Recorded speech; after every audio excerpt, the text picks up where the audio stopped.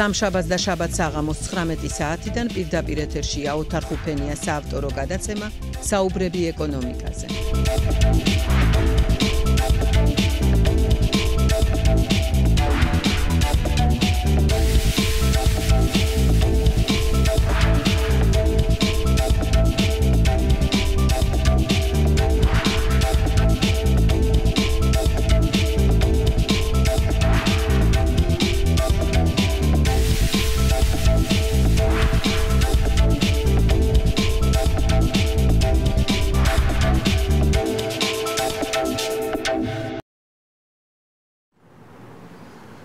საღამოშვიდობის მე ვარ ოთარ ხუფენია პროფესიით ეკონომისტი და საუბრობ პროფესიონალებთან ეკონომიკაზე ვერბალ ცოტალე მაგურებლებო დღეს ჩემი პროგრამის სტუმრები არიან ახალგაზრდა მეცნიერ ეკონომისტები ეკონომიკის მეცნიერებათა დოქტორები ბატონები რამაზ გერლიანი და ირაკლი მაკალათია. ბატონი რამაზი ჩვენ ვსტუმრობდა დაახლოებით ერთი თვის წინ. ხოლო ბატონი ირაკლი პირველად არის ჩემი სტუმარი ძირფალ სოთელი მაღურებლებო მე ვასრულებ ჩემს ახალგაზრდა კოლეგებთან და მეგობრებთან ერთად იცემულ პირობას რომ თემა რომელიც ჩვენ გავხსენით ჯერ კიდევ დაახლოებით თვენახევრის წინ ბატონ ვანო ჩხაიძესთან ეკონომიკურ მეცნიერებათა დოქტორთან გრძელდება და გაგრძელდება მომავალშიც. ორიოდე სიტყვით იმის შესახებ გავიხსენოთ რაზე გვაქვს საუბარი ჩვენ როგორც ახალი ასე ძველი თაობის სწავლული ეკონომისტები არა ვართ ყვაყოფილი იმ ტემპით იმ სამართლიანობით და ეფექტიანობით რომელიც მოყვა ვაუჩერიზაციას, ანუ უпроსორად განკერძოებას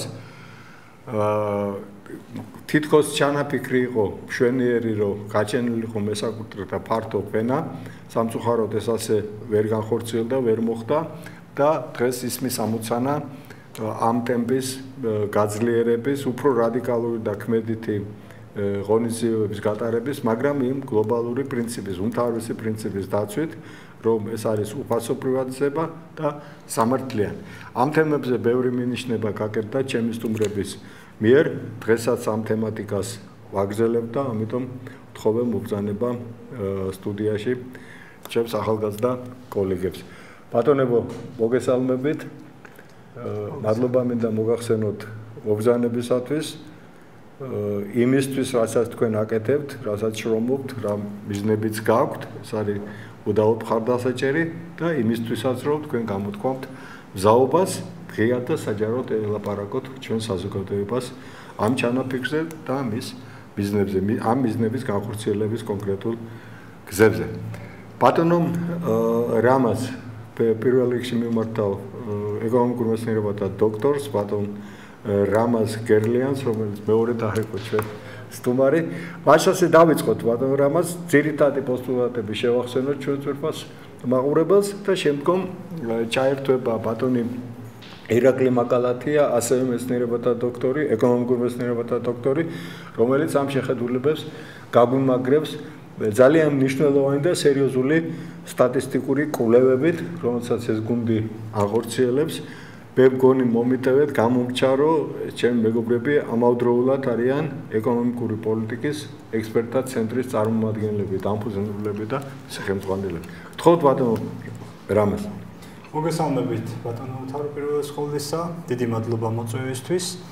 აა რაც შეეხება ჩვენს თემას, ეს გახლავთ ძირითადად კერძო საკუთრების ფორმირება, ანუ პრივატიზების მასიური პროცესის, მასიური ტალღის ასე ვთქვათ, წამოწყება თუ დასრულება უფრო. წამოწყება თქვენ სწორად ახსენეთ, დაიწყო, თუმცა არ დასრულებულა და მისი მთავარი მიდგომა სწორედ ამ მიმართულებით არის ის, რომ ის ქონება, რაც დღემდე აქტივების სახით არის სახელმწიფოს ხელში, უნდა განკერძოდეს, ფორმირდეს კერძო საკუთრებად ორი მთავარი პრინციპის მიხედვით. ეფექტიანობის და სამართლიანობის პრინციპი. ის უნდა იყოს სამართლიანი, ანუ ყველა მოქალაქეს უნდა გადაეცეს თანაბრად, ხოლო რასაკვირველია, ამავდროულად მექანიზმი, რომლითაც ის განხორციელდება, რასაკვირველი ეკონომიკურად უნდა იყოს ეფექტიანიც. აი ეს თავარი, ძირითადი ორი, ესე ვთქვათ, საყრდენი რის ირგვლივესაც სწორედ რომ ეს იდეა არის ვთქვათ ნაშენი აგებული თელი თავისი მექანიზმებით.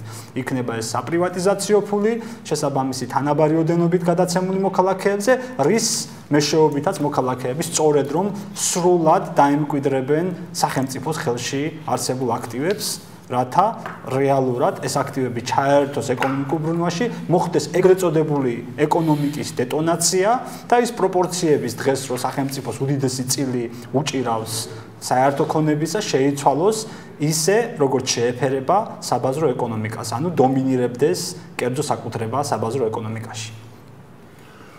ბატონო რამას ასეა და ამის შესახებ ჩვენ ვრცელი საუბარი გქონდა. თქვენ ახლა გახსენეთ ის ფონი, რომელთაც მინდა მე ჩავთოთ ჩვენს საუბარში ბატონი ირაკლი, ბატონი ირაკლი მაკალათია. ბატონი ირაკლი, თქვენ კარგახანია იყულევთ ამ თემას კლასიკური თანამედროვე სტატისტიკური კვლევის მეთოდებით, გაქვს გარკვეული შედეგები, რომელიც პრეზენტირებულია რიგ სამეცნიერო კონფერენციებზე, მაგრამ შეიძლება დღეს ვთქვათ, რომ ასეთი ფართო განხილვის საგანი თქვენ კლუბისა, თქვა ტელევიზიით და ფართო პრო მასშტაბით ჯერჯერობით არ არის და ეს ჩემთვის სავსებით გასაგებია, იმიტომ რომ ტელევიზიები ჯერჯერობით ასეთი ღრმადას დიდი საქმეებით არ არიან დაკავებულები, უფრო უფრო სხვა რა მაინტერესებს, ჩვენ კიდე პირიქით სწორედ ასეთი თემატიკა გვაინტერესებს. ამიტომ ჩემო ბატონო ირაკლი დავიწყოთ მის თვით მიზანია ეს რომ თქვა მე საკუთრეები გავაჩინოთ. თუ ნიშნავს იმას რომ ეს არის მართლაც სამართლიანი და მართლაც ეფექტიანი. და როცა ვამბობთ ეფექტიანს ის განიზომება ყოველი თავისი პარამეტრებით და ამაზე რაც მოგვითხრობთ ძირითადი შედეგები მიმართულებების მიხედვით თქვენი კვლევის. როცა ჩვენ საუბრობთ ამ აქტივების გადანაწილებაზე, რა თქმა უნდა, პირველ რიგში ეს არის ეს უნდა იყოს სამართლიანი და ეკონომიკურად ეფექტიანი. ამ ორ პუნქტს უნდა აკმაყოფილებდეს, ეს არის თავი არსი. რაც შეეხება ჩვენს კვლევებს და რასაც ჩვენ ვეღწნობით, მოკლედ რომ შევაფასოთ კერძო და სახელმწიფო სექტორები, ну, საუბრობთ იმაზე, რომ სახელმწიფო საკუთრებაში არის მთლიანი რესურსების 70%, დანარჩენი 30% არის კერძო სექტორში. მიუხედავად ამისა, კერძო სექტორი, როგორც დასაქმების, ასევე დასაქმებულთა შრომის ანაზღაურების ხრივაც ლიდერია და უფრო ეფექტიანია, უფრო მეტ სარგებელს აძლევს მოქალაქეებს, ვიდრე სახელმწიფო სექტორი.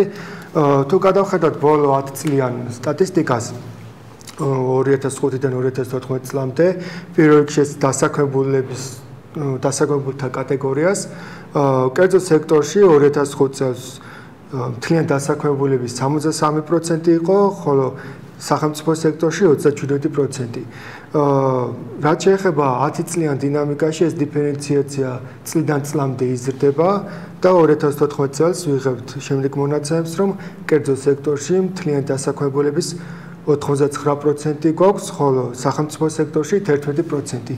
ნუ აქ შეიძლება ოპონირება გაგვიწიონ იმ თვალსაზრისით, რომ დასაქმებულების რიცხოვნობას ზრდის ის თვით დასაქმებულთა მაღალი ხვედრითი წილი დასაქმებულებში, თუმცა აქაც გვაქვს ჩვენ მოსაზრება ბევრი ეკონომისტი და შეიძლება სტატისტიკოსი არ ეთანხმება რომ დასაკომულ თვით დასაკომულად ითვლება ვიცით უმეტესობა ვინც ვისაც 1 ჰექტარი მიწის ნაკვეთი მაინც აქვს სოფლად და ესენი გადიან დასაკომულ თვით დასაკომულთა კატეგორიაში და ვასწავს მოწინააღმდეგები რომ ეს არ არის რეალური და რეალურ მაჩვენებელს გადახოვასთან გვაქვს საქმე მაგრამ თუ გადავხედათ იგივე განვითარებულ ქვეყნებს გერმანია იქნება ჰოლანდია თუ ევროკავშირის სხვა წარმოადგენლი ქვეყნები იქ იქაც დასაკომულად ითვლება ვისაც 1 ჰექტარი მიწის ნაკვეთი აქვს თუმცა განსხვავება ჩვენსა და მათ შორის არის ის რომ იქ 1 მიწის მიწ ჰექტრის ფლობელს უფრო მეტი აქტივის ხირებულება გააჩნია უფრო მეტი ქონების პრობლემია ვიდრე საქართველოს შესაბამისად იქ ადამიანს მეწარმეს უფრო მეტი ინვესტირების მოძიება შეუძლია მეტი ფოლადის სახსრების მოძიება შეუძლია ვიდრე აქ საქართველოში დაბალი ღირებულების მიწის ფლობის პერიოდში. აა ჩეხტია ხარდა ჯაგერიოთ რა თქმა უნდა ეკონომისტთა ის ნაწილი რომელიც ცოტა იჭვის თვალით უყურებს პირად დამყარე მეურნეობას თქვა მიწადა. ეს მოხდა 90-იან წლებში მე ციფრიც მახსოვს 922000 იყო ეს ადამიანი რომელიც ასე თქვა უცბად გახდა თვით დასაქმებული. თავისი კლასიკური გაგებით ისინი დასაქმებულებად ვერ ჩაითვლება და მე ჩემ არგუმენტებს გეტყვით ბატონ ირაკლი პირველი ის რომ უდიდესმა ნაწილმა ამ ადამიანებისა მიიღეს ის მიწის ნაკვეთები, რომელიც პირად დამხმარე მეურნეობის სახით მუდმივ სარგებლობაში ჰქონდათ კომუნისტების დროს. თავის მამაპაპისეული და კიდე ერთი ასე რომ თვისობრივი რაიმე გარდაქმნა თუ გნებავთ მათ ფსიქოლოგიაში და იმგვარი გარდაქმნა რომ მას აქტიური გავლენა მოეხდინა და უფრო აქტიური გაეხადათ ესენი რა თქმა უნდა ვერა ეს ერთი ფაქტორი მეორე გახლავთ ის რომ როდესაც ვადარებთ თქვა ფართობის მიხედვით ბატონ ირაკლი წამყვან ქვეყნებს და თქვა საქართველოს ამ დროს უნდა ხო თქვენ ეს ჩემზე კარგად იცით სტატისტიკას ვბრძანდებით, რომ თქვა წარმოებულობის და ناყოფიერების თვალსაზრისით ცადა მიწაა როგორც სიტყვიან და ისინი შედარებადიც არ არის. მაგრამ აი აქ მე მინდა თქვენი პოზიცია მითხრათ, რადგან ამ საკითხზე ბევრ დრო არ დავკარგოთ, შე უფრო რთული თემები გვაქვს დღეს განსახილველი. უბრალოდ ერთი კარგი მოიძებნა და თქვენი აზრი მინდა ბატონო ირაკლი, ის რომ იმის გამოც რომ ეს მცირე მიწიანობა რაც გახდა კერძო საკუთრებაში არ არის ეფექტიანი. ამიტომაც არის სახელმწიფოს პოლიტიკა ის გვარი რომ ხელი შეუწყოს კოოპერირებას კოოპერაციული მეურნეობის განვითარებას. ეს უკვე მესაკუთრეთა გაერთიანება. ერთადერთი რაც შეიძლება ითქვას ჩემი პოზიციიდან ის არის რომ მე ტემპით არა ვარ მაყოფილი. ტემპი უნდა იყოს უფრო სწრაფი უფრო მეტგადი მაგრამ ეს მაინც ვერ წყვეტავს იმ ამოცანას, რომელსაც თქვენი გუნდი არის შეჭიდებული. არ შეიძლება მესაკუთრეთა ფენა გავაჩინოთ რომელიღაც სეგმენტში მთელი ეროვნული ან სახალხო ეკონომიკისა ჩვენი ქვეყნისა და იქველოდოთ ასე ვთქვათ წარმატებას. ის მეთოდოლოგია და რასაც თქვენ თავაზობთ და რასაც ძალიან ბევრი გიჭერთ ხარს და უფრო მეტი მომავალში დაგიჭერთ ხარს, ეს ესეც სეგმენტურად ალბათ არ უნდა იყოს განხილული, უნდა იყოს თლიანობაში. აი ამ კუთხით როგორ ფიქრობთ ბატონ ერაკლი და მე მიყევი მიყვეთ ეს მე ჩაგერიეთ უბრალოდ რომ კარგად იყოს ნატელი ჩვენი მაყურებისათვის რომელ 900000-ზე არის საუბარი ეს ის პერიოდიდან მოდის. კი ბატონო, ნუ კოოპერატივს რაც შეეხება არ არის ეს ჩვენთან განვითარებული თლიან ორგანიზაციულ ფორმაში 0.6%-ამდე გვაქვს. ამიტომ აი ეს არის განვითარება არ გვაქვს. ეს გვაქვს. რაც შეეხება მცირე მიწიანობას, ნუ გერმანიას ნუ შევედრები და ჰოლანდიაც არ არის ჩვენს მდგომარეობაში, ჩვენზე ნაკლებიც და მცირე მიწიანობა იქაც აწუხებთ, მაგრამ იქაც ერთი ექტრის პრობლემი კი, მაგრამ ის წარმოების კულტურა არის ჯერვადობით მაღალი. რა თქმა უნდა, კაპიტალიზაცია არის ამ შემთხვევაში. აი ეს არის. თავარი ეს არის სხვა დონეზე აბსოლუტურად გეთანხმებით. კარგი, ბატონი, ახლა მივყვეთ სხვა პარამეტრებით. აი შევაფასოთ ეს მიწა და სოფელი გასაგებია, ვნახოთ სხვაგანაც. აი რა რა ხდება რა. როგორი არის თანაპარტობა ვის სასარგებლოდ და როგორ ყალიბდება? რაც შეეხება მიწის პროცენტულ განაწილებას ეს არის რომ კერძო სექტორის ფლობს მთლიანი მიწების მთლიანი მიწის რესურსის მხოლოდ 40% დანარჩენი 60% ასე ვთქვათ არის საფინანსო სექტორში და რა თქმა უნდა არის გამოუყენებელი და არაეფექტიანი არ არის არ ხმარდება ეკონომიკურ საქმიანობას აკაც ნუ ყველაზე უკეთესი მდგომარეობა გვაქვს კახეთში, სადაც კერძო საკუთრებაში მიწები 60%-ია, 60%-ი ცოტა მეტია, ხოლო სამეგრელოც 40%-ამდე აკაც. ყველაზე კარგი მაჩვენებლები თითქმის თითქოს ამ რეგიონებში გვაქვს, თუმცა არ არის ეფექტიანობის თვალსაზრისით ამ ხრივ არ გვაქვს მაღალ შედეგებზე არ ვართ მაღალ შედეგებზე გასულები. და აქაც დასაქმებულების კუთხიდან თუ გადავხედავთ, ზუსტად გამოიკვეთა ის ტენდენცია, სადაც მიწის ფონდი არის მაქსიმალურად ათვისებული, რაც უფრო ათვისებულია, მით უფრო გაზრდილი არის დასაქმების დონეც და იგივე როცა კახეთზე ვსაუბრობთ, სადაც 60% არის მიწის საკუთრება კერძო სექტორში გადასული, იქ დასაქმების დონეც სხვა რეგიონებთან შედარებით ყველაზე მაღალია და ეს შეადგენს 68.2%-ს. შესაბამისად იმ რეგიონებში სადაც განაწილება დაბალია, დასაქმების დონეც დაბალი გვაქვს. და ეს მონაცემები რატომ გვაქვს?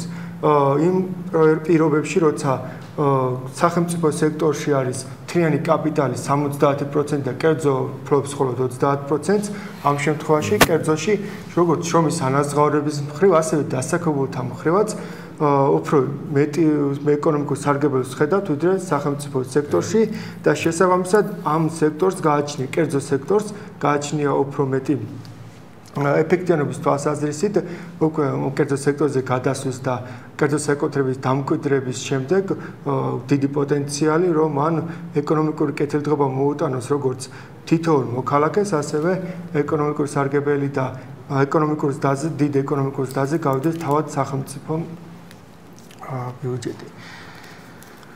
დიახ, ბატონო რამაზ. აი ხა თქვენი შეფასება როგორ იქნება? თქვა აი ხა აი ამ სტატისტიკას რაც თქვი და დავარი აქ ითქვა რომ 30-70-ზე ეს არის თანაბარდობა. ახლა არ თქუნა, მაგრამ ბუნებრივია ახლა ბატონი რა გულისხმობს იმას, რომ ბიუჯეტის შემოსავლებში ანალოგური პროპორცია არის. ანუ ეს ეს შეიმფასეთ, ახლა ეს ნორმალურია და არის თუ არა ეს გზა დემოკრატიული და თავისუფალი საზოგადოების შენობისა. კი ბატონო, თავარი აქცენტი სწორედ რომ ის გახავთ, რომ აი თავარი მესიჯი, რაც შეიძლება ესე დავარქვათ, 30% რესურსული ესე ვთქვათ პოტენციალით, რაც კერძო საკუთრებაშია და შესაბამისად ეკონომიკურ ბრუნვაშია ჩართული, ანუ ის რაც არ არის კერძო საკუთრებაში ეკონომიკურ ბრუნვაში ვერ იქნება ჩართული, ლოგიკურია. ის რაც ეკონომიკურ ბრუნვაშია ჩართული, ის ქმნის დიდ წილ ეკონომიკურ და საზოგადოებრივ სიკეთეს. მაშინ, როდესაც ამის პოტენციალი გვაქვს მინიმუმ გასამაგების, ხო, ციფრები გვეუბნება ამას რეალურად. ხოლო რაც შეეხება თვითონ ბიუჯეტის ხრივ, სახელმწიფო სახელმწიფოს რეალურად თავისი ფუნქციების ეფექტიანობის შესრულების თვალსაზრისით, სწორედ რომ ჩვენ როცა საუბრობთ პრივატიზების დეტონაციის გზით, მისი მასიური ტალღით, შესაძლებელია ორნიშნა ეკონომიკური ზრდა. შესაბამისად, ეს იმას იწვევს, რომ ის პროპორციულად, სწორედ რომ ის ბიუჯეტი იზრდება, იზრდება და სახელმწიფოს ხელისუფლებაში მყოფ თავრობას აქვს მეტი რესურსი, მეტი საშუალება ამა თუ იმ ეფექტიანი პოლიტიკის გატარებისა. იქნება ეს სოციალური თუ არასოციალური პოლიტიკა. აი ეს არის ამ შემთხვევაში უმთავრესი პირობა და რის ხარჯზე? იმის ხარჯზე, რომ რეალურად განკერძოებული ეკონომიკაში ჩართული შესაბამისი აქტივების მასა გვეზრდება, ანუ თუნდაც დასაბეგრი მასა შეიძლება დავარქვათ და ამ დასაბეგრი მასის ზდის კვალობაზე შესაბამისად ის შემოსავლები მათ შორის ბიუჯეტში გაცილებით მეტია. და აქ ალბათ კარგი იქნება თუნდაც ბატონი ირაკლი თუ მოგვახსენებს გარკვეულ ციფრებს სტატისტიკურ მონაცემებს ბოლო წლების თუნდაც 2010 წლიდან მოყოლებული რეალურად პრივატიზებას ხანდისხან მხოლოდ და მხოლოდ უყურებენ როგორც ბიუჯეტის ესე ვთქვათ შემოსულობების წყაროს. არა პრივატიზების თავარი ესე ვთქვათ ეფექტი უნდა იყოს რომ აქტივი გახდეს ეფექტიანი და ის ფორმირდეს კერძო საკუთრებად. ეფექტიანად ფორმირდეს რა საკუთრება სამართლიანადაც. სხვაგვარად არ შეიძლება რომ სახელმწიფო წარმოექმნას აი ამ ხრივ პრივატიზებიდან შემოსული თანხების წილი თუნდაც ბიუჯეტთან მიმართებაში არის ძალიან მცირე გვაქვს. აი ძალიან ბატონი ირაკლი და მე შევაფასოთ ეს რასთან გვაქვს აქ? ეხა არის ასეთი აზრი რა თქმა უნდა პრივატიზებიდან მიღებული შემოსავლები უნდა ეჭიროს მაღალი ხვედრითი წილი და ნაერთ ბიუჯეტში შესაბამისად საპირ ჩვენ კი საპირისპირო შედეგებს ვიღებთ ბოლო 4 წლიან პერიოდს თუ გადავხედათ 2011 წელს მაგალითად პრივატიზებიდან მიღებული შემოსავლები ნაერთ ბიუჯეტში კლient შემოსავლების 3.5% ეჭირა მომდენო წელს 2% 1.5% და 1.3%-ამდე შემცირდა. ანუ გვაქვს კლებით კლების ტენდენცია და შესაბამისად და იმ ფონზე არა ამასთან ამ როგორც ეს არის შეფარდებითი მაჩვენებელი, ასევე აბსოლუტური მაჩვენებლითაც ის მცირდება, ანუ მხოლოდ შეფარდებითი მაჩვენებლით კლება არ გვაქვს.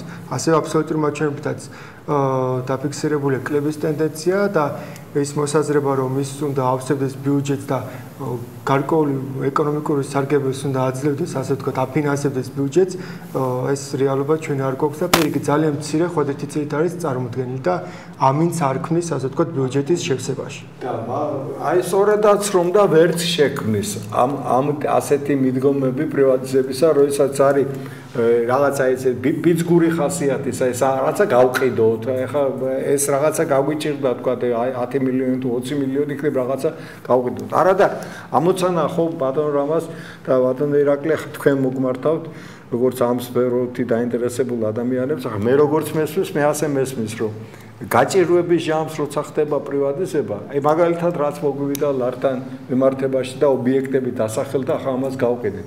აქ ერთი უმარტივესი ფაქტორი იმუშავებს, ძალიან პრიმიტიულად რო ვიმჟელოთ და პრაგმატულად. მესაც სახელმწიფო ღიათ აცხადებს, რომ მე ახლა მიჭირს რაღაც რაღაც და ამიტომ უნდა გავყიდო, მყიდველი ამით სარგებლობს ძალიან ხშირად. ხო გამიგეთ რის სიტყვას მინდა. ასე რომ ეს ყოველ ყველა შემთხვევაში წამგებიანია. მეორე, აქედან დიდ ეფექტიანობას არ უნდა ველოდოთ თუნდაც იმის გამო რომ ეს არის რაღაც ხანძრის ჩასაკრობად გაყიდული რაღაც საკუთრება.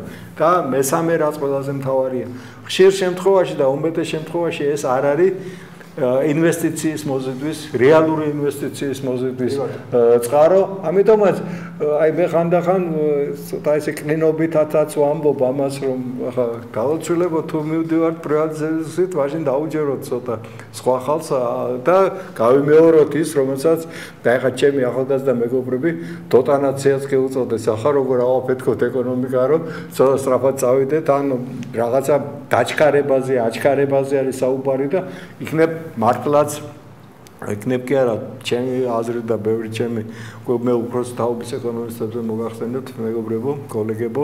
ბევრი ამას იზიარებს იმ გაგებითაც რომ ამ ხრივ გადასახედია ეკონომიკური პოლიტიკა საინვესტიციო პოლიტიკაც. და რაც ყველაზე მაინც თავარია ბატონო რამას თქვენ მე პატარა ესე ნიშნებას ავით გავაკეთე აი ეს ხომ არ არის თვით მიზანი. საბოლოო ჯამში ჩვენ ქონებას იმიტომ გვინდა რომ კეთილდღეობის საზოგადოება იყოს. ის მცდარია ხა თქვენ დამეთანხმებით თუ არა მოდი ამაზეც ვიმჟელოთ ჩვენ საუბრები გვაქვს. მეგობრებო მოდი თქვა კი ბატონო გაიზარდა მთლიანში და პროდუქტი და გავიზარდეთ ხუნჯერ ნიშნავს ჯერ კიდე ეს იმას რომ ჩვენ კეთილდღეობის საზოგადოება ნორმალური სახელმწიფო გვაქვს და ან ისეთ სახელმწიფო გვაქვს რომელსაც ოცნებობთ ყველა ერთად ხო?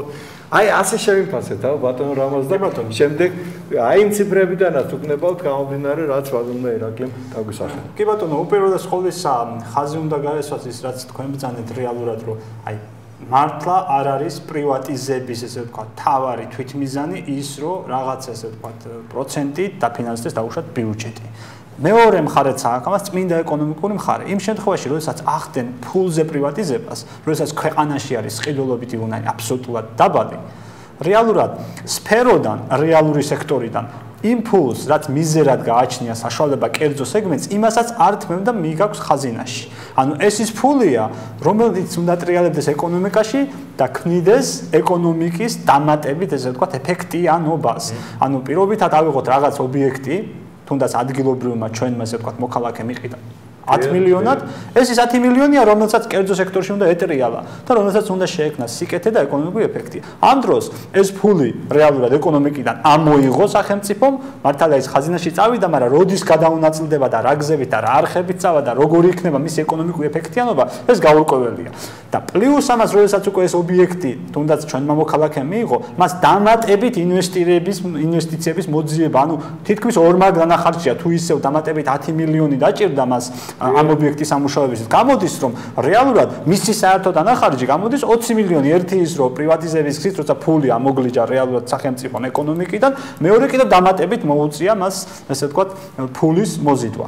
მაგრამ აქ სწორედ საუბარი იმაზეა რომ ვინაიდან წყიდულობითი უნარი არის დაბალი და ამაში ვერავინ შეგვედავება, ხედავთ ხო სამოქალაქო საზოგადოება, კერძო სექტორი რა მდგომარეობაშია, საერთო საშუალო ფენა არ არსებობს, ეს არავის ბრალი არის, ეს არის შესაბამისი ჩვენი იმ, ესე ვთქვათ, ხვედრისა, რაც მემკვიდრეობით გვერგო. ტრანსფორმაციის პროცესი ერთი სისტემიდან მეორეზე გადასვლა და ამ პერიოდში არც თუ ისე სწორი ეკონომიკური პოლიტიკის გატარების ბრალი არის სწორედ რომ ეს. ამიტომაც როცა ამბობთ ეფექტიანად და სამართლიანად, სწორედ იმას გულისხმობს, რომ შესაბამისი საპრივატიზაციო ფულით რომლითაც ესე ვთქვათ ჩვენი მოქალაქეები ამ აქტივებს განაკერძოებენ რეალურად ეს დანახარჯები არის გამორიცხული. იმიტომ არ გვაქვს ყიდულობითი უნარი, ამით ვასტიმულირებთ ყიდულობითაც ხოლმე და მხოლოდ საქართველოს მოქალაქეებს ეძლებათ ეს საპრივატიზაციო ფული.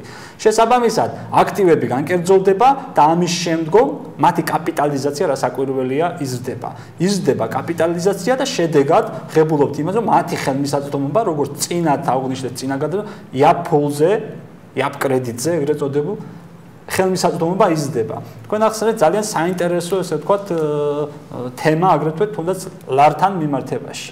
რეალურად ეს იმით არის გამოწეული, რომ საფონდო ბაზარი არ არის განვითარებული. საფონდო ბაზარი არ არის განვითარებული, საბანკო სეგმენტი თლიანად თუ ავიღებთ საფინანსო სეგმენტს, მის უდიდეს ნაწილს 90%-ს ფლობს. ასეთ პროპორციებს ჩვენ საბაზრო ეკონომიკის მქონე ქვეყნებში ვეღარ ვნახავთ. არ არის დივერსიფიცირებული საფინანსო სეგმენტი, ძირითადად მაინც თავკომპალად მოდიან ბანკები, იმის გამო რომ საფონდო ბაზარი არ არის განვითარებული. შესაბამისად, თუ საფონდო ბაზარი არ არის განვითარებული, ვერ იქნება სადაზღვეო სისტემა განვითარება, განვითარებული ვერ იქნება საპენსიო ფონდები განვითარებული, სხვა ესე ვთქვათ, კერძო საფინანსო ინსტიტუტები, რომლებიც უნდა მონაწილეობდნენ ამ ბაზარზე და დივერსიფიცირებული უნდა იყოს. მაგრამ სწორედ უმთავრესი აი ამ პოლიტიკასა, რომელსაც ჩვენ ვახსენებთ, მასიური პრივატიზების გზით. არის ის, რომ თქვენ რაც ბძანეთ, შეიქმნას მოქალაქეების საშუალო ფენა. საშუალო ფენა, რომელიც სწორედ რომ ცირე და საშუალო ბიზნესს განავითარებს. საშუალო ფენა, რომელიც აუცილებელია ის გეთანხმებით აბსოლუტურად ჩვენ ხშირად გქონია საუბრები, როდესაც ეს არის თავარი დემოკრატიის, ესე ვთქვათ, შუქურა. თუ საშუალო ფენა არ არის, ძალიან ძნელია თავისუფლების და დემოკრატიის შენარჩუნება. აი ეს არის თავარი პირობა სწორედ ამით იქნება. სასტარტო პირობებში მოქალაქეები იქნებიან თანაბარი. შესაძლებლობებში არავინ არ მოგცა უფლება იმისა, რომ ყველა ერთ დონეზე გავასწოროთ, მაგრამ სასტარტო სტარტო პირობებში რო გვინდა რომ მოქალაქეები იყვნენ თანაბარნი, ამიტომაც ყველას უნდა მიეცეს ეს საპრივატიზაციო ფული თანაბრად და შესაბამისად კერძო საკუთრებასაც მის შესაბამისად დაიმკვიდრებს ეს მოქალაქეები. აი შედეგებში პიროვნული მარიფათის და შესაძლებლობის მიხედვით ის ადამიანები შექმნიან ზოგი შექმნის უფრო მეტ ესე ვთქვათ სიკეთეს, ზოგი შექმნის უფრო ნაკლებ სიკეთეს. ესეც ლოგიკური იქნება, მაგრამ საბოლოო ჯამში ღებულობთ აბსოლუტურად ძალიან სტიმულირებულ დეტონაციურ პროცესს ესე რომ ვთქვათ ეკონომიკაში რაც იძლევა მაღალი ეკონომიკური ზრდის შესაძლებლობას და რაც თავარია საზოგადოების და ეკონომიკის განვითარების სწორ ესე ვთქვათ ვექტორს სწორ და მართებულ ვექტორს. მართალ ბრძანდებით მეტიც შეიძლება ითქვას ბატონო რამას იმასთან დაკავშირებით რომ რატომ არის საჭირო მცირე და საშუალო ბიზნესი მე შეიძლება გავამწვავო კიდე საკითხი და ასეც ავთქვა რომ მონოპოლიზებულ კაპიტალზე აგებული საზოგადოება როგორც მინიმუმ ავტორიტარული ტიპის არის და როგორც მაქსიმუმ დიქტატორი. ესეც გამოცდილია და მე თქვენ როგორც ქართველებს ამ ქვეყნის შვილებს ასეთ საზოგადოება არ გვინდა, მე თქვენ მინდა მოგმართოთ თქვენ წინაპრებს, თქვა ჩემ თაობას, ჩემზე უფროს თაობას, ამისთვის ნამდვილად არ უძოლია. ჩვენ ვიბრძოდით მართლა და ვიბრძვით დღესაც დემოკრატიული და თავისუფალი სახელმწიფოსათვის და სწორედ ამისთვის არის და ბედნიერება ეს ჩვენ მოვალეობაა ეს მეგობრებო ეკონომისტების რომ ამაში დავარწმუნოთ საზოგადოებას პირველ რიგში პოლიტიკოსებიც რომ ეს ამოცანა ამოხსნილი გვაქვს ეკონომისტებს რომ ძვირფასებს რო უნდათ მონოპოლიზებული სისტემები ეკონომიკაში და მე კარტერული გარიგებები და რაღაცები სწორედ ამ ძირითადი ფასეულობის ძირითადი იდეის ძირითადი საერთოდ ვისტრაფი ჩვენ იმის მოწინააღმდეგეა პირველ რიგში. რაღა შორს წავიდეთ ახლა იმ წვენვალე 9 წლეულში სხვა კი არაფერი არ კეთდებოდა და ამის აი სტატისტიკური კვლევა სატარეს ჩვენი მეგობარი ბატონი ირაკლი და ექნება ამის დამადასტურებელი არაერთი ციფრი იმისას რომ ის ავტორიტარიზმამდე მივიდა. უბრალოდ რესურსი არ ეხო დიქტატორობამდე და იმიტომ რომ დემოკრატია ბევრად უფრო იაფია, დიქტატურა ძალიან ძვირადღირებული სიამოვნებაა და ეს ხშირად პოლიტიკოსებს არ ესმით ბოლომდე. ახლა მეც აღარ გავაგრძელებ ამ თემაზე, მე ვიცი ახლა თანამოაზრეებთან ლაპარაკობ ამას და ძალიან ბევრი ჩემი ძვირფასი მაყურებელი ამას იზიარებს, თუმცა არაერთხელ წამოგვიწევია ეს თემა, მცირე და საშუალო ბიზნესის თემა ჩვენს პროგრამაში. ბატონო ირაკლი აი კიდე გავაგრძელოთ ახლა თქვენი კვლევისა კიდე რა პროპორციებს ხედავთ რა რასავლენთ აი დადასტურება იმისა რაც რაზე ჩვენ ასე ვთქვათ ზოგად თეორიული დებულებებით და რაღაც პოსტულატებით მივანიშნოთ. მცირე და საშუალო ბიზნესზე როცა ვსაუბრობთ, წამყვანი რა თქმა უნდა უნდა იყოს მცირე ბიზნესი. ნუ ეს ყველა განვითარებულ ქვეყანაში ასე არის და ისინი მე დოლაც ქმნიან, როგორც ბრუნის ხვი, ასევე დასაქმებულების ხვი. საპირისპირო შედეგებს ვიღებთ საქართველოში, სადაც მსხვილი საშუალო და მცირე საწარმოებს თუ ავიღოთ დასაქმებულების 90% თითქმის მსხვილ საწარმოებში გვაქვს დანარჩენი საშუალო და მცირეში. შესაბამისად ანაზღაურების მხრივაც საპირისპირო შედეგები გვაქვს, რომ მსხვილი მსხვილი საწარმოები უფრო მაღალ შედეგებზე გადიან ვიდრე. მცირე ეს იმაზე მიუთითებს რომ აქ არ გვაქვს განვითარებული მცირე ასე საშუალო ბიზნესი და სწორედ კერძო სექტორის დამკვიდრებაზე როცა ვსაუბრობთ საერთოდ მცირე ბიზნესის დაწყება პირველადი კაპიტალის დაგროვა იწყება სწორედ კერძო საკუთრებიდან კერძო საკუთრების ღირებულება განსაზღვრავს უკვე აქ ინვესტიციების მოზიდვას. როცა ჩვენ ვსაუბრობთ ინვესტიციების მოზიდვაზე რა თქმა უნდა სახელმწიფომ არ უნდა მოიზიდოს ინვესტიციები. ეს არის ეკონომიკოდ არაეფექტიანი რა თქმა უნდა შეუძლია, მაგრამ ეკონომიკურ ეფექტიანობაზე როცა ვსაუბრობთ, სახელმწიფო არ უნდა იძიებდეს ინვესტიციებს, ინვესტიციები უნდა მოიზიდოს, მოიზიდოს კერძო მესაკუთრემ.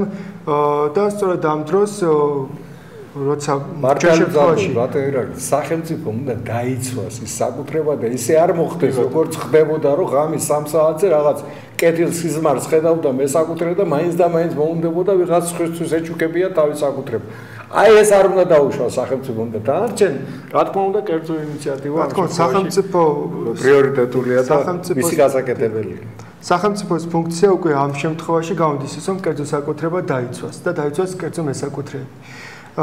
და გავაგზავნებთ როცა ჩვენს პირობებში საქართველოს მდგომარეობაზე ვსაუბრობთ საწყისი ბიზნესის დაწყების დროს საწყისი კაპიტალის მოძიება იწყება ჯერ პირადი სახსრებიდან, შემდეგ სანათესავდა საახლობლოდან და ამის შემდეგ როცა ეს ფინანსები არ არის, ის მიმართავს ბანკს და ხედავთ რომ საბანკო სექტორიდან ეს დაფინანსება არის არ გვაქვს გვაქვს მაღალ პროცენტში შესაბამისად და ასევე ის რომ ბანკმა გასცეს ცესხი საწყის ბიზნესზე ასეთი პრეცედენტი არ არსებობს ჩვენთან, რაც უნდა ინოვატორული და მაღალ დონეზე შესაძლებელი ბიზნეს გეგმით მიადგეს იგი ბანკს. შესაბამისად, მას შემდეგ რაც მოხდება განკერძოება, კერძო საკუთრების დამკვიდრება, გაჩნდებიან კერძო მესაკუთრები, თავიანთი კაპიტალი და თავიანთი უკვე ეს კაპიტალს ეკნება მაღალი ღირებულება, შესაბამისად ბანკებიც ერთმანეთთან იქნებიან კონკურენტულ პირობებში, შესაბამისად ისინი აუცილებლად დააფინანსებენ ამ საწყის ბიზნესს და რა თქმა უნდა მოხდება ამ პროცენტების მაღალი საპროცენტო განაკვეთების დაკლებაც, რადგან ისინი უკვე კონკურენციაში შევლენ ერთმანეთთან. აა და ალამერტო ერთმანეთთან ამ შემთხვევაში თვითონ საფონდო ბაზარიც ერთ-ერთი აი ბატონ რამაც სწორედ ამ კუთხით მინდა ახლა გავაგრძელოთ იმჟელობა ძალიან კარგი თემა წამოიწყო ბატონმა ირაკლი და ეს ნამდვილად ასეა ახლა უბრალოდ მე შეიძლება მაყურებლისათვის ამ შემთხვევაში როგორ წავყონმა მარტივი რამე ვთქვა. ყველა მიცის ახლა რომელ ბანკს მიმართავს წვრილი მეწარმე. გამორიცხულია 14-15%-იანი შემთხვევაში ისეთი რა ბიზნეს გეგმა უნდა კონდეს იმ დამწყებს რომ პირველ ნაბიჯებს გავს რომ ეს გადაიხადოს და კიდე მოგება დარჩეს და ვიცით ამის უკან რაც მოხდა, როგორც მოხდა, ნახევარი მილიონი ადამიანების რომლებიც დღეს ეგრეთ წოდებულ კრედიტ იმპორტ ციევში გაწირლებულები არიან და ეს ეს პრობლემაა ბატონებო ჩემო მეგობრებო უნდა გითხრათ ეს ადამიანები ამ წესით ხელოვნურად არიან გამოყვანილები ბიზნეს აქტიურობიდან. ისინი ვერ ისარგებლებენ საბანკო მომსახურეობით. აი ბატონ რამაზ რატომ მოხდა ისე? რატომ მოხდა? კარგი, დარგვინდა ძალიან შორს წასვლა, მაგრამ დღევანდელი სიტუაცია ასეა. მხოლოდ ბანკი, საბანკო დაწესებულება გახდა ასეთი. სად არის ბირჟები, სად არის აქციები და ასე შემდეგ. აი ამ კუთხით შემიფასეთ ორივეს გაქვთ ეს შეკითხვა. კონკურენცია არის ყველაზე მთავარი. კონკურენცია იძლევა შესაბამისად თავისუფლებას, ანუ ეკონომიკურ თავისუფლებას ამავდროულად და კონკურენცია არის თავარი מחასიათებელი, რომელიც წარმოიქმნება სხვადასხვა ბაზრებზე, იქნება ეს საფინანსო თუ სხვა სახის აქტივების ბაზარი. ეს განსაზღვრავს რეალურად საბაზრო ეკონომიკის ფუნქციონირებას. სამწუხაროდ საფინანსო სექტორზე დღეს კონკურენცია არ არსებობს მსხვილ ესე ვთქვათ მოთამაშეებს შორის. ანუ თუ დავუყობთ სეგმენტებად, საბანკო სეგმენტი არის ხოლმე და მხოლოდ წარმოადგენს 90%-ით, ხოლო 10%-ით არის სალომბარდო სისტემა, მიკროსაფინანსოები, რომლებიც ასევე შეიძლება ჩავთვალოთ, რომ შვილობილები არიან აი ზუსტად, ძალიან მიხარია, რომ ახალი თაობა ასე ღია კარგი. სანამ ამის დივერსიფიცირება არ მოხდება, ამის ამის დივერსიფიცირება ვერ მოხდება, სანამ კერძო საკუთრების სრული ფორმირება არ განხორციელდება. ვინაიდან კერძო საკუთრების გარეშე საფონდო ბაზარი არ მოქმედებს. საფონდო ბაზრის შემდგომი ნაბიჯი არის სწორედ რომ ბირჟის განვითარება. ბირჟის განვითარებას ვამბობ და არა ბირჟის შენობის არსებობას და მის ისე რაღაც იურიდიულ ფორმას. ვინაიდან მაპატიოს ახლა მსმენელმას და ყველა, მაგრამ ერთ-ერთი ბრენდული შაურმის დღიური ბრუნვა ქვეყნის საფონდო ბირჟის ბრუნვას რო არ უნდა აღემატებოდეს ეს ახლა ალბათ ლოგიკურია ყველა ეკონომისტის და ალბათ არა ეკონომისტის მიხვდება ერთ-ერთი ბრენდის შაურმის დღიური ბრუნვა და მიხვდები ალბათ ტელემაყურებლები რომ რაზეცაა საუბარი აღემატება ჩვენს ასე ვთქვათ ბირჟაზე ფასიანი ხაღალდების ბირჟაზე დღიურ ბრუნვას. ეს ამ შემთხვევაში ძალიან ცუდი მდგომარეობა და ეს არის ინდიკატორი. ინსტიტუცია არ არსებობს ამ შემთხვევაში ეს არის ინდიკატორი პულსი თუ რა მდგომარეობაში გაქვს საფონდო ბაზარი. საფონდო ბაზარი არ გაქვს, ვინაიდან კერძო საკუთრებაში არ არის აქტივები, ხოლო ის აქტივები, რომლებიც კერძო საკუთრებაში იმყოფება, არის გაუფასურებული. იქიდან გამომდინარე, რომ არსებობს მოლოდინი სახელმწიფოს ხრიდან ჭარბი ამ აქტივების მიწოდებისა, თუნდაც აი ამ ცირედი პრივატიზების გზით, დავასახელოთ ბიუჯეტში რა შედეგი მოაქვს, აი ამ ფულადი პრივატიზების გზით და შესაბამისად აღნიშნულიდან გამომდინარე, კერძო საკუთრების ხელში ის 30% ამ აქტივებისა ისიც კი არის გაუფასურებული. შედეგს რას ღებულობთ? თქვენ ძალიან მნიშვნელოვანი თემა ახსენეთ ბატონო ოთარ.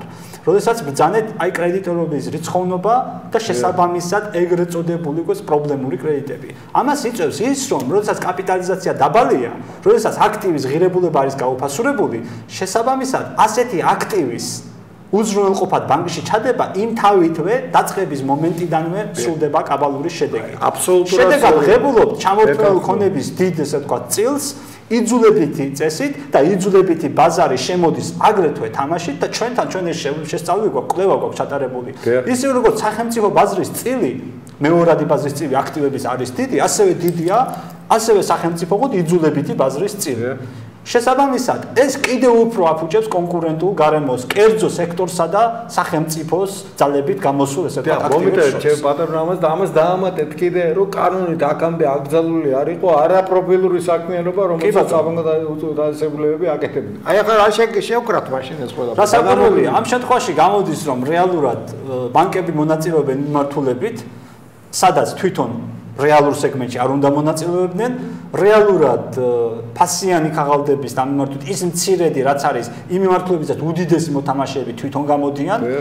სეგმენტი გამოდის ან პირდაპირ უნდა ითქვას მონოპოლიზებული ფაქტის ახეზე 90% საფინანსო სეგმენტში როდესაც სექტორულად დავყოთ ფლობს აგანკო სისტემა სხვა კონკურენტი არ არის არც სადაზღვევოს არც საპენსიოს და არც სხვა ესე ვთქვათ ფინანსური ინსტიტუტების სახით არც კერძო მოთამაშეების სახით როცა არ არის კონკურენტი. რეალურად გამოდის რომ ეს სეგმენტი არის მონოპოლისტი საფინანსო ბაზარზე. შესაბამისად ნურასტროს ნუ გვექნება იმილსულუზია რომ რეალურად იაფულზე იქნება ხელმისაწვდომა, რეალურად კრედიტი იქნება მისაღები იმისთვის, რომ განვითარდეს ბიზნესი და აღნიშნულიდან გამომდინარე, ყოველთვის გვექნება ესეთი ცუდი მდგომარეობა დაფინანსების თვალსაზრისით. და ყველაზე მთავარი რა არის, მაინც სმენელმა უნდა გაიგოს შესაბამისმა სამეცნიერო წრეებმაც ეს განშტის საგნად უნდა აქციონ, რომ რა განსხვავება, როდესაც მე საბანკო სეგმენტიდან, სადაც ფულის გარკვეული თქვა მასა არის მობილიზებული, ღებულობ დაფინანსებას სხვადასხვა მიმართულებით და რა განსხვავებაა გარკვეული ტრანზაქციებისა რეალურ სექტორში, ამ შემთხვევაში საფონდო ბაზარზე. საფონდო ბაზარზე თვითეული ლარი, რომელიც გააკეთებს ტრანზაქციას, სწორედ რომ რეალურ ეკონომიკაში ბრუნდება. აი დაუშვათ მე ვიყიდე რომელიღაც კომპანიის აქციები. თქვენ როგორ გქონიათ ეს ფული სად წავიდა? წავიდა პირდაპირ იმ კომპანიაში, პირდაპირ რეალურ ეს სექტორში წავიდა. ზედმეტი პირველად ეფექტს ხდის ის შემდგომ პირველადი ეფექტის შემდგომ რასაკვირველია სხვადასხვა ეკონომიკის სეგმენტს მოედება, მაგრამ რეალურ სეგმენტში მიდის და პირველ ეფექტს ხდის იქ. აი საბანკო სექტორიდან მიღებული ძირითადი დაფინანსებები, კრედიტები, თუნდაც ბიზნესი დავარქოთ, ხო, მაგრამ ძირითადად ორ სეგმენტს ეხება. ეს ეს გახლავთ. ვაჭრობა და სპეკულაცია. ანუ ორი ორი მიმართულება, ძირითადად რეალური ესე ვთქვათ სეგმენტი ამ მიმართულებით არ მონაწილეობს. აი ეს განსხვავება, უდიდესი განსხვავება, ეს არნიშნავს იმას, რომ საბანკო სექტორი უნდა დაკნინდეს. პირიქით, ის უფრო უნდა განვითარდეს. დღევანდელზე უფრო ძლიერიც კი უნდა იყოს, მაგრამ არა იმის ხარჯზე, რომ სხვა სეგმენტი არ იყოს წარმოქმნილი. არამედ საერთო ეკონომიკა უნდა გაიზარდოს, უნდა იყოს დიდი და ამ დიდი ეკონომიკა სწორედ რომ ის სეგმენტი, რაც საბანკო სეგმენტს ექნება საფინანსო ბაზარზე, დღევანდელზე უფრო მეტი იქნება. თუ რასაკურველია აქტივები ჩაერთვება საბაზრო ბრუნვაში. აქტივების საბაზრო ბრუნვაში ჩართვა სწორედ რომ იძლევა საშუალებას დამატებითი მოთამაშეების შემოვიდნენ საფინანსო ბაზარზე. ერთ-ერთი იყოს რასაკვირველია ისევე როგორც სხვილი წარმომადგენელი საბანკო სეგმენტი, მაგრამ ამავდროულად ჩდება სხვა მოთამაშეები, რაც საბოლოო ჯამში იძლევა იმის საშუალებას იქნება მცირე თუ საშუალო დიდი ნებისმიერი ბიზნეს იდეა თუ ინიციატივა თუ პიროვნული მარიფათი დაფინანსდეს ეგრეთ წოდებული იაფი ფულით. და ამას არავინ არ აიძულებს, რომ იმას სპეციალურად გაიაფოს. ამას იძლევა კონკურენტული გარემო, კონკურენტული გარემო, როგორც შესაბამისად საფინანსო სეგმენტში, ასევე კონკურენტული გარემო ბაზარზე. იძლევა იმის საშუალებას, რომ შანსი მიეცეთ ცირე და საშუალო ბიზნესის და თუნდაც მსხვილი დიდი მსხვილი ბიზნესების წარმომადგენლებს ჩადგნენ თანაბარ პირობებში და მე პიროვნულ მარიფათმა და მის მესე თქვა ღირსეულმა გონებრივმა შესაძლებლობებმა და გათვლებმა იმარჯოს. აი ეს არის სწორედ რომ შეჯიბრობის შეჯიბრებითობის პრინციპი არის საბაზრო ეკონომიკა, სადაც არიან უმეტესწილად არიან გამარჯვებულები, თუმცა ის ვინც მეორე მესამე ადგილზე მოდის, ესეც სამართლიანი და ისიც ამ შემთხვევაში არის გამარჯვებული, იმიტომ რომ ქვეყანაში ზოგადი ფონი არის უკეთესი. რეალურად როდესაც საუბრობთ თუნდაც საფონდო ბაზრის მიმართულებით, თუნდაც ბირჟის მიმართულებით, ფასიანი ხალხადების მიმართულებით, ძალიან საინტერესო იქნება თუნდაც ბატონი ირაკლის მიერ წარმოქმნილი სტატისტიკას ამ მიმართულებით. როგორი მდგომარეობა გვაქვს ქვეყანაში? ეს სტატისტიკა კიდევ ერთხელ მოწმობს რა ვითარებაა და რა მიმართულებით უნდა განვითარდეს რეალური სექტორი. ბატონო, როცა საუბრობ ჩვენ საფონდო ბაზის განვითარებლობაზე, შეგვიძლია ერთი ციფრით დავახასიათოთ, ისევ სააქციო საზოგადოებებს, სააქციო საზოგადოებას თლიან ორგანიზაციულ ფორმებში უჭირავს 0.6%. ანუ არ არის რაოდენობის ხრივაც. აი, თუ შეიძლება, ბატონო, კიდე გაიმეორე, ფანტასტიკაა ეს. 2015 წელია ხალხო, 25 წელია ვაშენებ საბადრო ეკონომიკაზე დაფუძნებული, ვითომ რა ძალიან კიდე რამდენია? აა კი ბატონო, ანუ ყველა ორგანიზაცია მეთოდს ვიხენებ მე ახლა ჩემს დავფიქრდეთ რა ხდება ხალხო, სადავარ? აა 0.4% სააქციო საზოგადოების ხვედრითი წილი მთლიან 0.4 მეათედი. მთლიან ორგანიზაციო სამართლებრივ არა სხვა არ გამივლოთ რომელიმე ქვეყანასთან ბატონო ირაკლი გეკნება თქვა. არა, დიახ, რა თქმა უნდა, მაგრამ განვითარებულ ქვეყნებში რა თქმა უნდა ეს მონაცემები რადიკალურად განსხვავებულია და აჭარბებს კიდევაც და 0.3% რა თქმა უნდა იქ არ შეხვდება ხვედრით მაღალი ხვედრითი წილით არის წარმოქმნილი და სწორედ ისინი ბრუნის ხრივაც პროდუქციის გამოშვების ხრივაც ისინი არიან ლიდერები და სწორედ ისინი აწარმოებენ პროდუქტს რეალურ ეკონომიკაში. რაც შეეხება დანარჩენ სამართლებრივ ორგანიზაციულ ფორმებს, ნუ ყველა თითქმის ყველა ორგანიზაციული ფორმით ვარ წარმოქმნილები, ერთი რაღაც შეგვიძლია ვთქვათ, რომ ამ რეგიონულ განაწილების მხრივ თბილისში ამ სუბიექტ ეკონომიკური სუბიექტების 54% არის თავმოყრილი. ანუ როგორც ყველა სექტორში, თბილისიც არის ამ შემთხვევაში მოწინავე პოზიციაზე და შემდეგ უკვე ქვეყნის ეკონომიკურ განვითარებასთან ერთად უნდა მოხდეს დიფერენცირება და ამათ მათი განაწილება ეკონომიკური საქმეების განშლადობა. რაც შეეხება დანარჩენ ფორმებს, ну ყველაზე დიდი ხვედრითი წილი შეზღუდული პასუხისგებლობის საზოგადოება არის წარმოქმნილი ეს შანდობლებია ესეთ 26%-ით ну არ ჩავთვით ინდივიდუალურ მეწარმეებს 79%-ია მაგრამ აქ არის შესაძლებლობა დარღვეული რადგან ერთ ინდივიდუალურ მეწარმეზე ვერ ვერ შეედარება ერთი შეზღუდული პასუხისმგებლობის საზოგადოება. ანუ ყველაზე მაღალი ხვედრითი წილი წარმოქმნილი არის ეს ამ ტიპის ორგანიზაციული ფორმა. დაახლოებით 160.000-ზე მეტი ასეთი ორგანიზაცია არის ჩვენთან და კონკურენტ კონკურენციას ასე ვთქვათ ერთმანეთში იყოფენ შეზღუდული პასუხისმგებლობის საზოგადოება და სააქციო საზოგადოებაც. რაოდენობის მხრივაც, გამოშვებული პროდუქციის მხრივაც, დასაქმებულების მხრივაც, ასევე ინვესტიციების მოზიდვის მხრივ, სწორედ შეპენსები აჭარბებენ აბსოლუტური მაჩვენებლებით. მაგრამ თუ გადავიყვათ მათ შეფარდებით მაჩვენებლებზე, რადგანაც ისინი ხვედრითი რაოდენობრივად უფრო მეტნი არიან, შესაძლებლობა მოითხოვს, რომ გადავიყვათ ერთ სუბიექტზე, მაშინ უკვე საპირისპირო შედეგებს ვიღებთ. დასაქმების ბრუნის მხრივ თლიან ორგანიზაციულ ფორმებში შეზღუდული პასუხისმგებლობის საზოგადოებას უჭირავს 80%. მაშინ როცა სააქციო საზოგადოებას პროცენტული წილი შეადგენს 10%-ს, მაგრამ ერთ სუბიექტზე თუ გადავიყვათ, მაშინ ნახავთ, რომ შეზღუდული პასუხისმგებლობის საზოგადოება წლიური ბრუნვა 230000-ი არის, საშუალოდ მაშინ როცა სააქციო საზოგადოების ანალოგიური მაჩვენებელი მილიარდ მილიონს ცილდება მილიონ 700000 რაც შეეხება დასაქმებულთა მხრივ რა თქმა უნდა შეზღუდული პასუხისმგებლობის საზოგადოებაში უფრო მეტი არის დასაქმებული 80% არის ამ თლიან დასაქმებულებში მაგრამ ერთ სუბიექტზე გაანგარიშებით რა თქმა უნდა სააქციო საზოგადოებაში უფრო მეტი დასაქმებული ყავს ვიდრე ამ შეპენსეებში და ასევე ანაზღაურების მხრივაც უკეთესი პირობები გვაქვს. სააქციო საზოგადოებაში ვიდრე შეზღუდული პასუხისმგებლობის საზოგადოებაში და აქ ერთიც უნდა თქვათ რომ ინდივიდუალური მეწარმეები რომლებიც რომელთა ხვედრითი წილიც მაღალი გვაქვს ძალიან დაბალია მათი შემოსავლები, ასე ვიცით რომ ინდივიდუალური მეწარმეები ეს არის თვითდასაქმებულთა კატეგორიიდან და აქედან მიღებული შემოსავლები, თლიან შემოსავლებში 10%-ს არაჭარბობს. შესაბამისად, როცა ვსაუბრობთ მცირე ბიზნესის განვითარებაზე, ინდივიდუალური მეწარმეების განვითარებაზე, ეკონომიკური ეფექტიანობა აქ გვაქვს ძალიან დაბალი, ის რომ შემოსავლები თლიან კუთხით 10%-საც კი არაჭარბებს.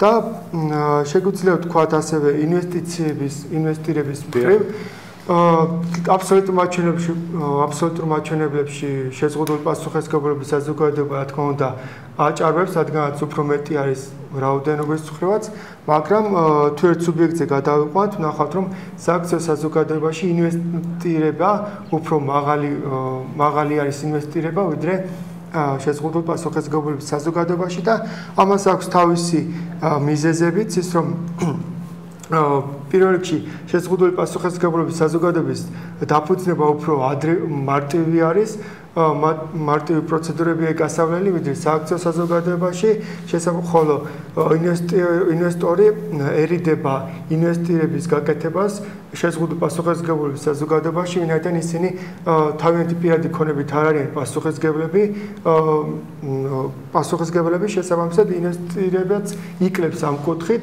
შესაბამისად მას სურვილი გააჩნია ინვესტორს და თავისი კაპიტალი თავის კაპიტალით ინვესტიციაში შევიდეს ისეთ სააქციო საზოგადოებაში რომელშიც ეკონომიკური ეფექტიანობა უფრო მაღალი იქნება და შესაბამისად დაცულობაც მაღალი იქნება.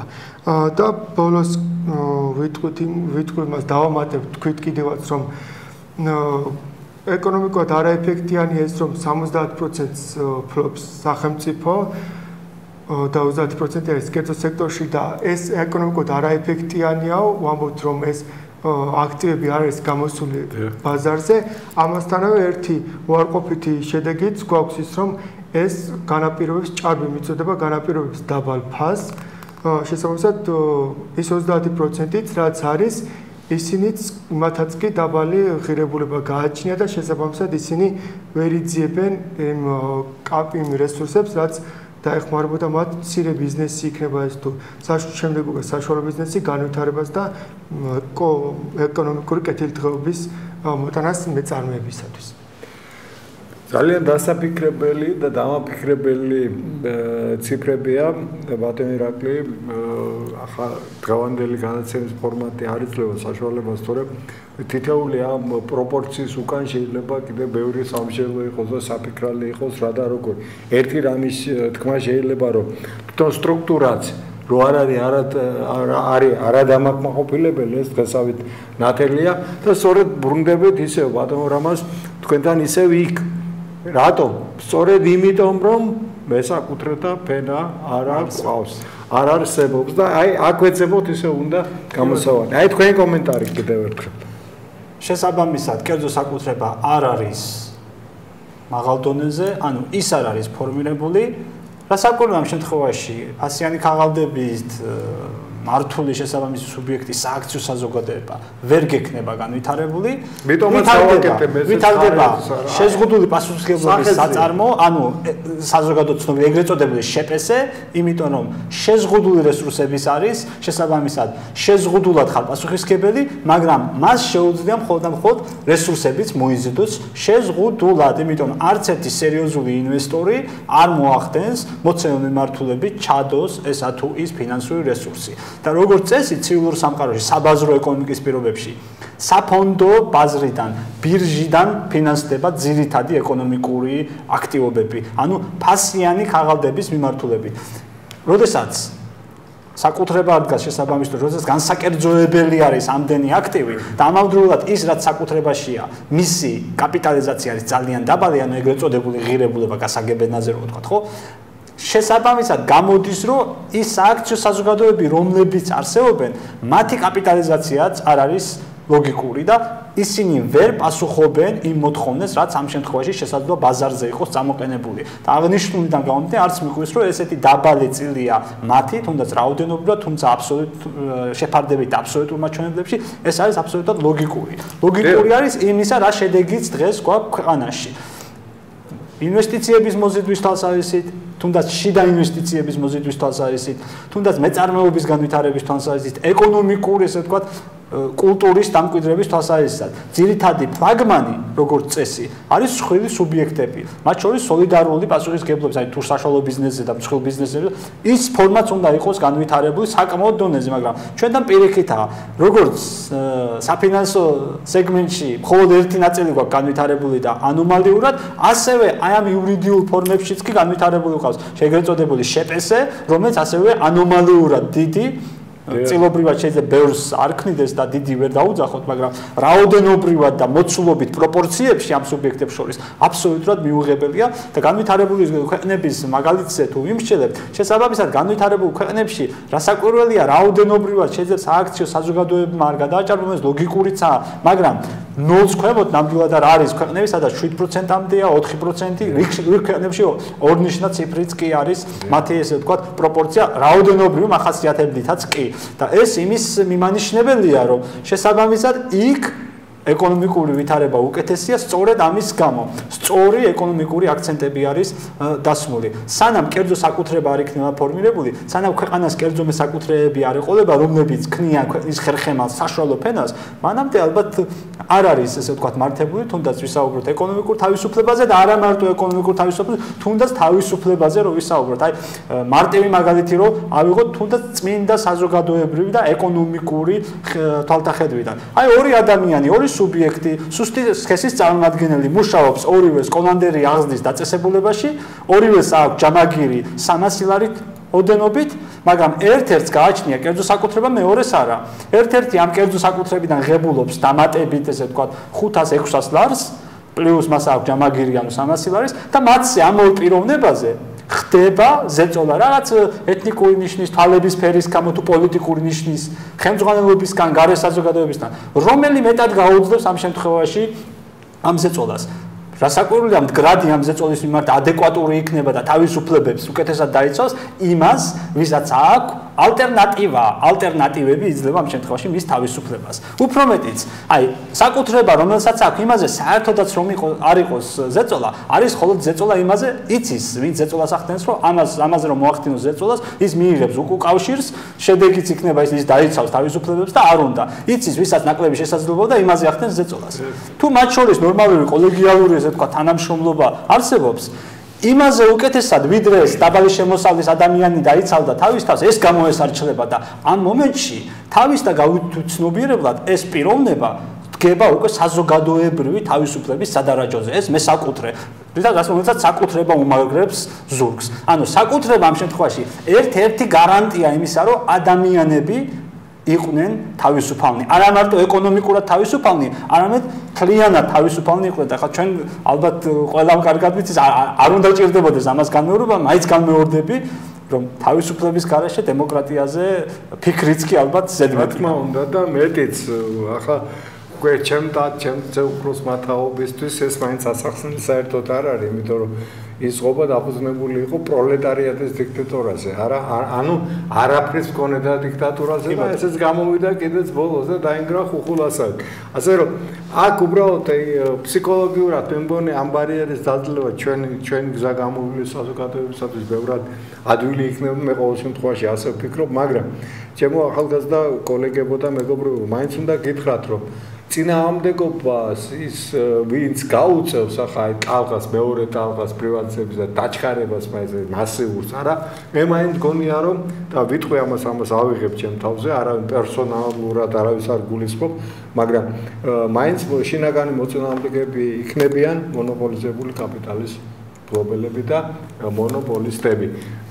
ეს ორი მიზეზია ამისი. ერთი ის, რომ მათ ეს ნიშა მოძიებული და მოპოვებული აქვს და გონიათ, რომ ეს მობივად იქნება აქ ცდებიან მე მინდა მიუმართო მათ ცდებით სტრატეგიაში ძალიან სერიოზულად ჩვენფასო მეგობრებო და ეს პირველი მერცხლებია ხარაც კონკურენციის სააგენტოს მასალები გვესმის და ცოტა უფრო გამწვალდება ეს თუ ჩვენ საზოგადოებად შევდგებით თუ მეთქი შევდგებით აუცილებლად ეს ერთი რომ თქვენთვის ეს აზიანოა მე მონოპოლისტებს მიმართავ და მეორე ვერ გაძლებს ასე ეკონომიკა.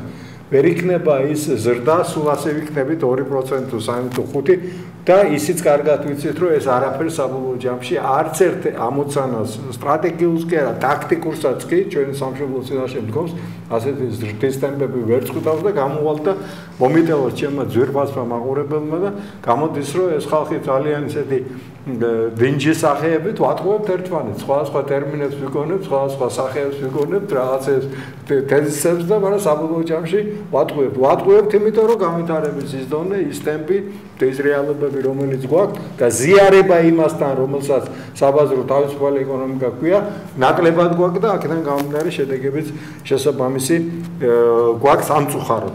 ასე რომ ესე ვქოთ, ვინც მომხრეა მონოპოლისტების, ესეც უნდა უთხრათ, ნუ გეშინიათ, ისწავლით, ბოლო-ბოლო თქვენ თუ არ იცით, დაიქირავებთ მენეჯერებს, ვინც ეს ეკონომიკა იცის და არ წააგებთ საბოლოო ჯამში, ამის შემიძლია დაგამშვიდოთ. ისე კუთხეად გეტყვით, მაინც და მაინც თქვენ მიმართ მე პიროვნულად სოლიდარული არა ვარ. ეს ჩემი სუბიექტური აზრია, ბატონებო, ახალგაზრდა ეკონომისტებო, უნდა გითხრათ.